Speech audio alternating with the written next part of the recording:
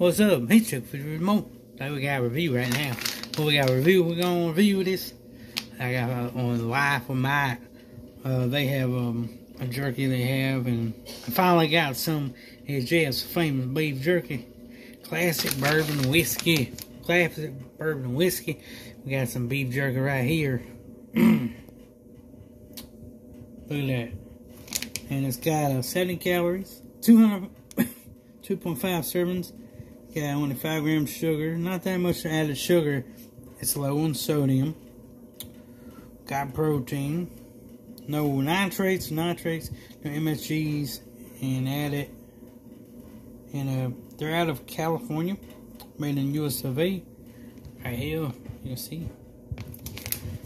I, I got one of the other things, but I didn't review it. I was hungry. I had to eat that thing. I was like, I gotta eat that thing. So yeah. So what we're gonna do, we uh, we got a skillet right there. So what we're doing right here is we are reviewing it. So what we're gonna do is open this up and we'll so get the dryer on. And uh, it says award winning. I like beef jerky, it's real good, but you know, I might say it's good, so we're about to find out.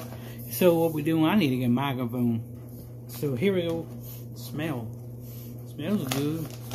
Now look, I like beef jerky, but I don't like all kinds of beef jerky. So let's taste some of this. There we go, look at that.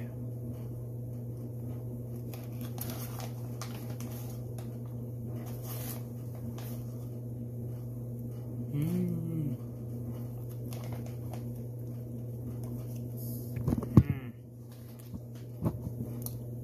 Mmm. I know what bourbon whiskey tastes like. I haven't had that much. This has that good brown sugar taste, teriyaki. the bourbon, not too strong, whiskey, classic bourbon whiskey. If you like a bourbon whiskey, still might like this kind of beef jerky. You go good with a shot of whiskey, which I haven't had that in a long time, but and that's true. And they have a thing where you scan them so this right here, honestly, I'm gonna give this a. Uh, I think it's better than Jack Link's beef jerky. This right here, I'm gonna give him 10 out of 10. Like, comment, subscribe, hit that notification bell. He's good. Stay tuned for Chuck Food more.